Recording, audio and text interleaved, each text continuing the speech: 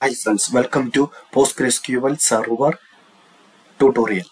Today we are, we are going to interact with the PostgreSQL Server using SQL Shell. Our server is localhost, database Postgres. Postgres is default database. When you install PostgreSQL Server on your system, there will be default web uh, database Postgres. Port is 5432. Username Postgres username is also postgres. Password for user postgres.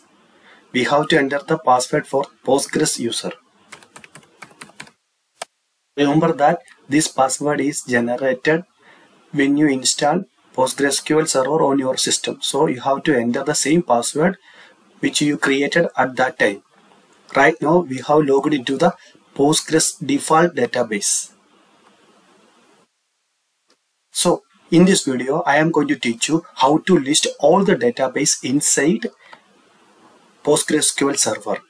Command for list all the database inside a PostgreSQL server is slash backward slash L.